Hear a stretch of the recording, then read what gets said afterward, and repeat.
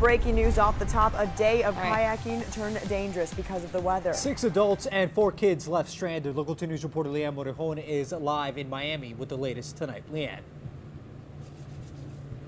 And luckily, this story tonight has a happy ending. In all, 10 people rescued after they go out on kayaks expecting to have a great night out on Pelican Island, which is just nearby here to Pelican Harbor.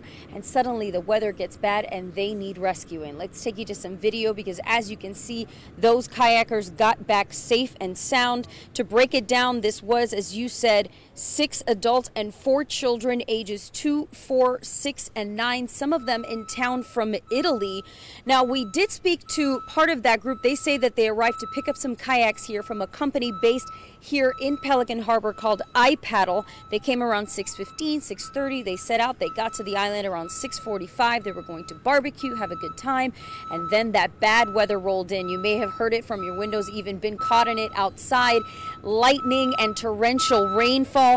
They contacted the kayaking company. They in turn contacted 911 and Miami Fire Rescue. They came out on their fireboat to pick them up. Everyone safe and sound. We spoke to some of them. Here's what they had to say. It was terrible. Like strike lightning everywhere. Yeah. It was so loud it popped my ears.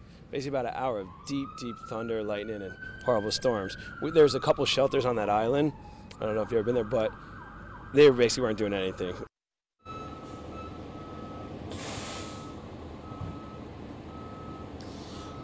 And back out here live. All is safe and sound. All of them were able to go home. They were in good condition. A little wet, of course, but they were tired, but in good condition, in good spirits even. They were laughing with us and just happy to be back safe and sound. We will have a lot more on this story that ended so happily, thankfully in this case, coming up on the Local 10 News Sunday morning edition.